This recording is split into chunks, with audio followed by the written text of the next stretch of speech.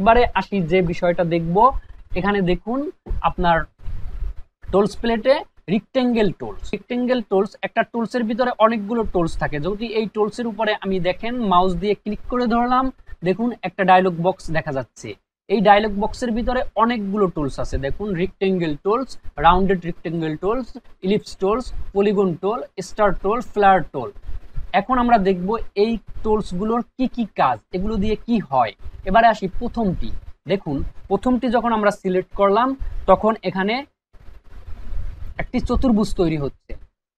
খেয়াল করুন, আমরা যখন একটি রিক্টেঙ্গেল টোলস দিয়ে রিক্টেঙ্গেল টোলস দিয়ে আমরা একটি চতুর্ভুজ নিলাম। চতুর্ভুজটি এখানে কালার আসছে গ্রিন দেখুন, এখান থেকে আপনি ইচ্ছে করলে এই চতুর্ভুজটির কালার চেঞ্জ করে নিতে পারবেন। এই যে ফিল কালার একটি রিক্টেঙ্গেল টোলস থেকে যখন আমরা একটি চতুর্ভুজ নিলাম অবজেক্ট নিলাম, এটির দুটি অংশ থাকে। দেখুন, এইটির দুইটি অংশ, একটি হচ্ছে ফিল একটি হচ্ছে স্ট্রোক দেখুন, এখানে কালার মোডে আসি, এটিকে সিলেক্ট থাকা অবস্থায়। এই কালার থেকে আমরা দেখুন, এই উপরে যে কালারটি দেখতে পাচ্ছি, এটি হচ্ছে ফিল এটাকে আমরা ইয়েলো করে দিলাম। তারপর আসি, দেখুন, নিচে যেটি দেখা যাচ্ছে, এটি হচ্ছে স্ট্রোক এটিকে এখন বন্ধ করা আছে। দেখুন, এই দুইটি কালারের জন্য নিচে তিনটি অপশন দেখা যাচ্ছে। প্রথমটি হচ্ছে কালার, দ্বিতীয়টি হচ্ছে গ্রাডিয়েন্ট তৃতীয়টি হচ্ছে নান। এখন দেখুন, এই স্ট্রোক কালারটি আমাদের বন্ধ করা আছে। এটিকে আমরা কালার করে দেব। দেখুন, এখানে চালু হয়ে গেছে, কিন্তু আমাদের স্ট্রোকটি একেবারে কম দেয়া। আমরা একটু স্ট্রোকটি বাড়িয়ে দেব, টেন দিয়ে দিলাম। এবারে আসি, স্ট্রোকটির কালারটা আমরা চেঞ্জ করে দেই, কারণ স্ট্রোকটি সিলেক্ট আছে। এখন আমরা এখান থেকে রেড দিয়ে দিলাম। দেখেন, এখানে স্ট্রোকটি এখন দেখা যাচ্ছে। আমাদের একটি অবজেক্টের দুইটি অংশ, একটি হচ্ছে স্ট্রোক আর একটি হচ্ছে ফিল। মাঝখানে যেই ইয়েলো অংশটুকু, এটি হচ্ছে ফিল। আর সাইডে যে বর্ডারের মতন দেখা যাচ্ছে, এটি এই বর্ডারটি হচ্ছে স্ট্রোক। তাইলে আমাদের একটি অবজেক্টের দুইটি অংশ থাকে। একটি স্ট্রোক আর একটি হচ্ছে ফিল। এবারে আসি, দেখেন। আমরা সিলেকশন টোল সিলেক্ট করে এটিকে একটু নড়াচড়া করাইলাম। তারপরে দেখুন এটিকে সাইডে নিয়ে গেলাম। এবারে আসি এই রিক্টেঙ্গেল টুলসের ভিতরে। দেখুন আরও যেগুলো আছে, এটি হচ্ছে রাউন্ডেড রিক্টেঙ্গেল টুলস আচ্ছা তার আগে আসি প্রথমটি যখন সিলেক্ট থাকবে, এটি সিলেক্ট থাকা অবস্থায় আমরা আর্টবোর্ডের কিংবা আর্টবোর্ডের বাইরে যদি একটি মাউস দিয়ে ক্লিক করি, তাইলে এরকমের একটি ডায়লগ বক্স দেখতে পাবো হাইট ওয়াইট দেখুন, এখানে হাইট ওয়াইট দেয়া আছে। এখন আসি, আমরা যখন বিভিন্ন রকমের কাজ করব, সেক্ষেত্রে বিজনেস কার্ড হতে পারে কিংবা বিভিন্ন ধরনের ডিজাইন হতে পারে, সেক্ষেত্রে আমাদের একটি অবজেক্ট আমাদের নির্দিষ্ট একটি মাপে নেওয়া দরকার হতে পারে। সেক্ষেত্রে আমরা এরকমের ক্যান্সেল দিলাম অবজেক্ট এরকমের আমাদের টোলসটি সিলেক্ট থাকা অবস্থা, অবস্থায়। এখানে যে কোনো টোলস আমাদের সিলেক্ট থাকতে পারে। দেখুন, আমরা প্রথমটি সিলেক্ট করা আছে, এখন এই টোলসটি সিলেক্ট অবস্থায়। আমরা যদি আর্টবোর্ডের বাইরে কিংবা আর্টবোর্ড আর্টবোর্ডের উপরে আমরা যদি মাউস দিয়ে একটি ক্লিক করি, তাইলে এই ডায়লগ বক্সটি দেখা যাবে। ডায়লগ বক্সটির উপরে দেখেন লেখা আছে হাইট ওয়াইট হাইট ওয়াইট এখন আমরা বাড়াতে কমাতে পারব। দেখুন হাইট ওয়াইট দেয়া আছে sixty eight point nine zero nine three M M M M মানে হচ্ছে মিলিমিটার হাইট ওয়াইট দুই জায়গায় দেখুন মিলিমিটার দেয়া আছে। এখন আমরা, আমাদের এমন হতে পারে, আমরা ইঞ্চিতে নেব। কিংবা পয়েন্টসে নেব পিকজেলে নেব, সেক্ষেত্রে কি করার? দেখুন, এটাকে আমরা ক্যান্সেল করে দিলাম। এবারে আসি, একটু এডিটে যাই। দেখুন মেনু বার থেকে মেনু বার থেকে আমরা এডিটে গেলাম। এডিট থেকে দেখুন প্রেফারেন্স প্রেফারেন্স থেকে জেনারেল জেনারেলে ক্লিক করলাম। এখানে দেখুন জেনারেল থেকে ইউনিটস এখানে অনেকগুলো অপশন আছে। আপনি যাবেন ইউনিটসে ইউনিটসে দেওয়ার পর দেখেন যে জেনারেল থেকে মিলিমিটার্স দেয়া আছে। এখানে আমরা যদি ইঞ্চি করে দেই, সবগুলোই স্ট্রোকেও ইঞ্চি করে দেই, তারপর টাইপেও ইঞ্চি করে দেই। ইঞ্চি করে ওকে দিলাম। এবারে এই টোলসটি সিলেক্ট অবস্থায় যদি আমরা রাইট বাটনে ক্লিক করি, তখন দেখেন two point seven one three এখানে আই এন দেওয়া আছে মানে ইঞ্চি। আবার হাইটেও দেখেন one point eight nine eight one I N মানে ইঞ্চি। এখন ইঞ্চিতে আসতেছে। আমরা এখন নিলে ইঞ্চিতে আসবে। এখানে ইঞ্চি দেখিয়ে দিতে পারব। কিন্তু এক্ষেত্রে আমাদের একটি অসুবিধা আছে।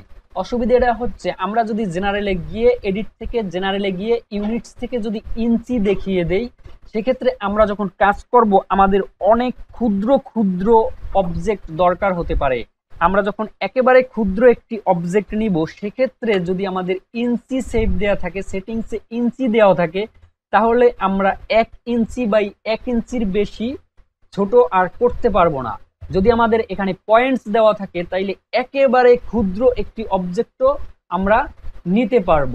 ওকে? সেক্ষেত্রে আমরা এটিকে ক্যান্সেল করে দিই। ক্যান্সেল করে দিয়ে এডিট থেকে প্রেফারেন্সে গেলাম। প্রেফারেন্সে গিয়ে আমরা জেনারেল ক্লিক করলাম ইউনিটসে গেলাম। ইউনিটসে গিয়ে এখানে পয়েন্ট সিলেক্ট করে দিলাম। পয়েন্ট যদি সিলেক্ট করা থাকে সবগুলোতে, তাহলে আমরা একেবারে ক্ষুদ্র একটি অবজেক্ট নিতে পারব। এখন আসি, যদি এরকমের সেটিংস থাকা অবস্থায় আমাদের ইঞ্চিতে একটি অবজেক্ট নেওয়া দরকার হয়, সেটারও একটি অপশন আছে। দেখুন, এটি সিলেক্ট থাকা অবস্থায় যদি আমরা মাউস দিয়ে খালি জায়গায় একটা ক্লিক করি, এখন যদি আসেন, আমাদের যদি এমন দরকার হয়, এখানে ফাইভ ইঞ্চি একটি অবজেক্ট দরকার, যার ওয়াইড দরকার five inch. Five I N দিয়ে দিলাম। তারপরে আসি হাইটে হাইটে আসার সাথে সাথে দেখেন তিনশো ষাট পিটি মানে পয়েন্টস তিনশো ষাট পয়েন্টস মানে ফাইভ ইঞ্চি সমান সমান তিনশো ফাইভ পয়েন্ট খেয়াল করুন, ও অটোমেটিক এটাকে নিয়ে নিছে, আর কি পয়েন্টে নিয়ে নিছে। আপনার ফাইভ ইঞ্চিকে অটোমেটিক পয়েন্টে নিয়ে নিছে মানে ফাইভ ইঞ্চি সমান সমান তিনশো ষাট পয়েন্ট আবার খেয়াল করুন, আমরা ফাইভ দিলাম। ফাইভ দিয়ে আই এন দিলাম। এখন যদি এখানে দেখুন হাইটেক চলে আসলাম। চলে আসার পরে এটি ফাইভ ইঞ্চি সমান সমান তিনশো ষাট পয়েন্ট দেখুন, তিনশো ষাট পিটি তার মানে হচ্ছে ফাইভ ইঞ্চি সমান সমান তিনশো ষাট পয়েন্ট এখানেও ঠিক। দেখুন, আমি হাইটে যদি তিন ইঞ্চি দিতে চাই, তিন আই এন থ্রি ইঞ্চি দিলাম। তারপর খালি জায়গায় অথবা ওয়াইডে ক্লিক করলাম। দেখুন দুইশো ষোলো পিটি মানে তিন ইঞ্চি সমান সমান দুইশো ষোলো পিটি ওকে এবারে আমরা ফাইভ ইঞ্চি ওয়াইড তিন ইঞ্চি হাইটে একটি অবজেক্ট নিলাম। যদি আমাদের এরকমের দরকার হয় অবজেক্টটি আমরা এখন সিলেকশন টুলস দিয়ে সিলেক্ট করে ডিলিট করে দিলাম। এটিকে আমাদের দরকার নাই। আসুন, মাপটা কিন্তু আমরা দেখিয়ে দিলাম। কীভাবে একটি অবজেক্টের মাপ নিব আমরা? আমাদের বিভিন্ন মাপের অবজেক্ট দরকার হতে পারে, সেক্ষেত্রে ঠিক এরকমের মাপ দিয়ে আমরা একটি অবজেক্ট নিয়ে নিতে পারব। ওকে ক্যান্সেল দিলাম। তারপরে আসি দ্বিতীয় টুলসটি rounded rectangle tools rounded rectangle tools দ্বিতীয়টি যখন সিলেক্ট করলাম, দেখুন আমি একটি অবজেক্ট যখন নিচ্ছি, তখন চারপাশে রাউন্ড দেখা যাচ্ছে। আর প্রথমটি যখন নিচ্ছিলাম, তখন এটি রাউন্ড ছিল না। এখন রাউন্ডের ব্যাপারে আরেকটি ব্যাপার দেখাই। আমাদের রাউন্ড অবজেক্টগুলো বিভিন্ন কাজে দরকার হয়। দেখুন রাউন্ডটির যদি আমরা ফিল ফিলটি চালু রাখব আর স্ট্রোকটি বন্ধ করে দেব। স্ট্রোকটি যদি বন্ধ করে দেই, তাইলে দেখুন, এরকমের চিকন আমরা ওয়েবসাইটে যখন ঢুকি, বিভিন্ন রকমের, এরকমের দেখুন ওয়েবসাইটে যে অবজেক্টগুলো দেখা যায়, এরকমের যে বিভিন্ন অপশন দেখা যায়, সেক্ষেত্রে অনেকেরই পছন্দের ব্যাপার হচ্ছে এরকমের রাউন্ড অবজেক্ট ঠিক আছে? এবারে আসুন সিলেকশন টুল সিলেক্ট করে এটাকে ডিলিট করে দিলাম, এটাকেও ডিলিট করে দিলাম। এবারে দেখেন, যদি রাউন্ড অপশনটা সিলেক্ট করে আমরা যদি মাউস দিয়ে এভাবে ড্রাগ করি মাউসটা ছেড়ে দিলে তাইলে আমাদের এরকমের একটি অবজেক্ট তৈরি হবে। কন্ট্রোল জেড দিলাম। যদি আমরা মাউসটিকে এবারে না ছাড়ি, না ছেড়ে দেখুন আপনার কিবোর্ডে অ্যারো চিহ্ন আছে, ডানে, বামে এবং উপরে, নিচে অ্যারো চিহ্ন। এই অ্যারো চিহ্নগুলোতে যদি ক্লিক করি, দেখুন এভাবে ধরে মাউসটা ধরে রাখা অবস্থায় যদি অ্যারো চিহ্ন উপরের দিকে, উপরে ক্লিক করি, দেখুন আমাদের রাউন্ড বাড়তেছে। ওকে আবার যদি নিচের দিকে ক্লিক করি, দেখুন রাউন্ড কমতেছে। দেখুন, একটা একটা ক্লিক করে দেখুন রাউন্ড কমতেছে। চেপে ধরে রাখলে এভাবে কমতে থাকবে। একেবারে রাউন্ড থাকবে না, চতুর্ভুজ হয়ে যাবে ওকে আমরা আমাদের যতটুকু রাউন্ড দরকার রাউন্ড যদি আমাদের বেশি দরকার হয়, বেশি নিয়ে নেব। যদি কম দরকার হয়, কম নিয়ে নেব। যতটুকু রাউন্ড দরকার রাউন্ড করে নিতে পারব। এভাবে একটি রাউন্ড অবজেক্ট আমরা নিতে পারি। ফিলটি চালু করে দিলাম ওকে এবারে আসুন, এই অবজেক্টটি সিলেক্ট থাকা অবস্থায়ও আমরা যদি আর্টবোর্ডের খালি জায়গায় অথবা আর্টবোর্ডের বাইরেও যদি একটা ক্লিক করি, সেক্ষেত্রে আমাদের একটি ডায়লগ বক্স আসবে। দেখেন রাউন্ডেড রিক্টেঙ্গেল আমরা যদি এখন এখানে একটি রাউন্ডেড অবজেক্ট নিতে চাই, তার মাপ যদি হয় ওয়াইড যদি হয় five inch five I N দিলাম। দেখুন, তারপর হাইটে যখন আসলাম, ওর মতন ও তিনশো ষাট পয়েন্ট ফাইভ ইঞ্চি সমান সমান তিনশো ফাইভ তিন ফাইভ ইঞ্চি সমান সমান তিনশো ষাট পয়েন্ট এটা নিয়ে নিছে। তারপর যদি আমরা এটির হাইট দেই টু ইঞ্চি আই এন দেখুন, তারপর এখানে একশো চৌচল্লিশ পয়েন্ট মানে টু ইঞ্চি সমান সমান একশো চৌচল্লিশ পয়েন্ট এটা নিয়ে নিছে। তারপর এখান থেকেও কর্নার রিডিউস থেকে আমরা রাউন্ড কি ধরনের কতটুকু রাউন্ড হবে সেটাও দিয়ে দিতে পারব। ইচ্ছে করলে আমরা দুই ইঞ্চি রাউন্ড হবে আমাদের, সেটা দিয়ে দিলাম। তারপর ওকে দিলাম। দেখুন, একটা অবজেক্ট তৈরি হয়েছে, যার ওয়াইড হচ্ছে ফাইভ ইঞ্চি হাইট হচ্ছে টু ইঞ্চি রাউন্ড হচ্ছে টু ইঞ্চি ওকে, এভাবেও আপনি নিতে পারবেন। আবার ম্যানুয়ালি এখানে এটাকে সিলেক্ট করে মাউস দিয়ে ড্রাগ করে দেখুন, এটাকে যত খুশি বড়, হাইট, ওয়াইট যেভাবে দরকার আপনি নিতে পারবেন পরিমাণ মতন। তারপর উপরে নিচে অ্যারো চিহ্ন দিয়ে আপনার রাউন্ড বাড়াতে কমাতে পারবেন। সিলেকশন টুলসটা সিলেক্ট করি, এটাকে ডিলেট করে দেই, এটাকেও ডিলেট করে দেই। আমরা উপরে শুধু এটাকে নিয়ে রাখলাম। ওকে, এবারে আসি দেখুন, এখানে ইলিপস টুলস ইলিপস টুলসটা সিলেক্ট করলাম। এখন দেখুন, একটা সার্কেল হচ্ছে। এটাকে যদি কন্ট্রোল জেড দিয়ে আমরা শিপ ধরে নেই, তাইলে আর আমাদের সাইজটা নষ্ট হবে না। ঠিক সমানভাবে একটি সার্কেল তৈরি হবে। এবারে এই সার্কেলটি নিলাম। সার্কেলের ক্ষেত্রেও একই রকম। আপনি যদি সার্কেলটি সিলেক্ট থাকা অবস্থায় এখানে খালি জায়গায় একটি মাউস দিয়ে ক্লিক করেন, তাহলেও সার্কেলের হাইট ওয়াইট চলে আসবে। আপনি ইচ্ছে করলে এখান থেকে হাইট ওয়াইট দিতে পারবেন আপনার মতন। আপনার যতটুকু হাইট ওয়াইট দরকার, দিয়ে ওকে দিলেই ঠিক একটি সার্কেল তৈরি হবে। এটিকেও আমরা ডিলিট করে দিলাম। ওকে, এবারে আসি দেখুন সিলেকশন টুলসটি সিলেক্ট করলাম। এটাকে আমরা সাইটে রেখে দিলাম। এবারে আসি তৃতীয়টি। তৃতীয়টি হচ্ছে পলিগন টুলস পলিগন টুলসটি আমরা সিলেক্ট করলাম। পলিডো পলিগন টোলসটি সিলেক্ট করে যদি নেই, দেখুন এখানে চতুর্পাশে কয়েকটি ঘর দেখা যাচ্ছে। এই ধরনের অবজেক্টও আমাদের বিভিন্ন সময় দরকার হয়। এখন আমরা যদি এই সাইডগুলো বাড়াতে কমাতে চাই, সেক্ষেত্রে দেখুন, আমরা যদি এই টোলসটি সিলেক্ট থাকা অবস্থায় খালি জায়গায় বা আর্টবোর্ডের বাইরে খালি জায়গায় একটা ক্লিক করি, তাইলে এরকমের একটি ডায়লগ বক্স আসবে। এখন আমরা এই যে অবজেক্টটি নিয়েছি, এটার ভিতরে ছয়টি সাইডস দেখা যাচ্ছে। দেখেন সিক্স এখানে সিলেক্ট করা আছে। আমরা যদি নতুন যেটি নেব, নতুন একটি নেব, সেটার ভিতরে যদি আমাদের তিনটি দরকার হয়, তিনটি দিতে পারি। যদি দুইটি দরকার হয়, দুইটি দিতে পারি। ইচ্ছে মতন দিতে পারি। এখানে দশটি, পনেরোটি, বিশটি, পঞ্চাশটি দিতে পারি।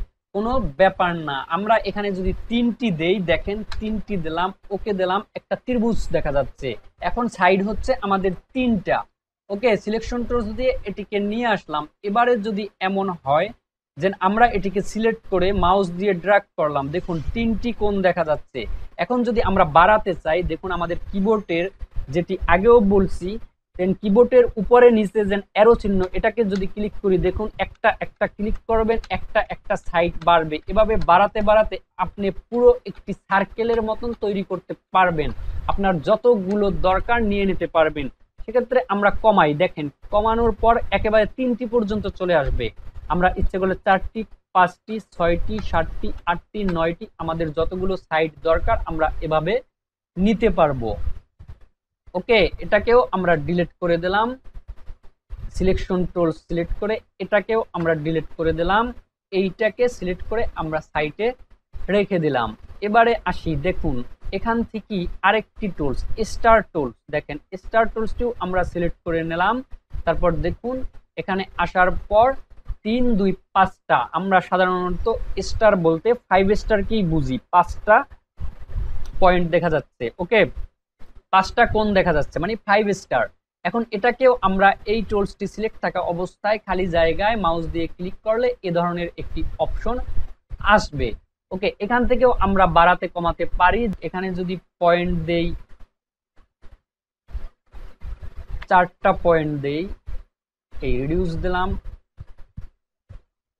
অন ইঞ্চি আই এন এখন যদি ওকে দেই, দেখুন কেমন হয়। ওকে, আমরা এভাবে বাড়াতে কমাতে পারব বিভিন্ন রকম। আপনি এখান থেকে এরকমের রাইট বাটনে ক্লিক করে এই চারটা অপশন বাড়াবেন, কমাবেন, দেখবেন যে বিভিন্ন রকমের পরিবর্তন আপনি পাবেন। আমরা এটাকে ক্যান্সেল দিলাম। আরও একটি বিষয় দেখি, সেটি হচ্ছে এখন যদি এই স্টারটি নেওয়ার সময় আমরা এরকমের নেই। দেখেন আমরা চারটি কোন দেখতে পাচ্ছি। এখন যদি আমরা বাড়াতে চাই, সেক্ষেত্রে অ্যারো চিহ্ন, সেই কিবোর্ডের উপরে নিচে অ্যারো চিহ্ন যদি দেই, দেখেন আমাদের একটা একটা করে পয়েন্ট বাড়তেছে। ওকে?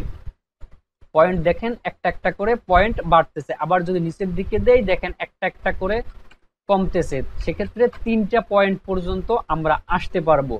ওকে? এবার বাড়াতে পারব, কমাতে পারব। আমাদের যতগুলো স্টার দরকার, ততগুলো আমরা স্টার নিতে পারব। ওকে? তিন, দুই, পাঁচটা আছে, আমরা ছয়টা নিলাম, সাতটা নিলাম। এখন এটাকে সেভেন স্টার বলে। ওকে? সিলেক্ট করে এটাকেও ডিলিট করে দিলাম। এটাকেও ডিলিট করে দিলাম স্টারটিকে নিয়ে আমরা সাইডে রাখলাম। এবারে আসি দেখেন নিচে ফ্লেয়ার টোলস ফ্লেয়ার টোলসটা সাধারণত আমি কখনোই ব্যবহার করি না গ্রাফিক্সের কাজে। এটিকে যদি আমি কখনো মোশন গ্রাফিক্সের কাজ করি, সেক্ষেত্রে ফ্লেয়ার টোলস ব্যবহার করি। তারপরও দেখাই, এটি হচ্ছে আসলে আমরা যে রিফ্লেকশন দেখি সান রিফ্লেকশন বলতে পারেন, বা বিভিন্ন ধরনের আলোর যে রিফ্লেকশন রিফ্লেকশনটাকে বোঝানোর জন্য সাধারণত এই ফ্লেয়ার টোলসটাকে ব্যবহার করা হয়। মানে আলোটাকে, আপনি আলোর রিফ্লেকশনটাকে দেওয়ার জন্য, বোঝানোর জন্য বিভিন্ন ডিজাইনের ক্ষেত্রে এ ধরনের দরকার হতে পারে। যে আলোর রিফ্লেকশনটা আপনি বুঝাবেন, সেক্ষেত্রে ফেলার টোলস ব্যবহার করতে পারেন। ফেলার টোলস এর ক্ষেত্রেও আপনি যদি এখন এটার মাউস দিয়ে একটা ক্লিক করেন, এটার উপরে ডাবল ক্লিক করেন, ফেলার টুলস এর অপশনটা ফেলার টুলস এর ডায়লগ বক্সটা আনার ক্ষেত্রে একটু ডিফারেন্ট ফ্লেয়ার টুলসটা সিলেক্ট করে আপনি এটার উপরে মাউস দিয়ে যদি ডাবল ক্লিক করেন, তাইলে আপনার ডায়লগ বক্সটি আসবে। সেক্ষেত্রে এখান থেকে আপনি বিভিন্ন রকমের পরিবর্তন করে ফ্লেয়ার টুলসের ব্যবহার করতে পারেন। ওকে দিলাম। ওকে সিলেকশন টুলস সিলেক্ট করলাম, আমরা ফ্লেয়ার টোলস ডিলিট করে দিলাম সবগুলো। ওকে এবারে আসি। আমাদের এই টোলসগুলো সবই দেখা হলো। ওকে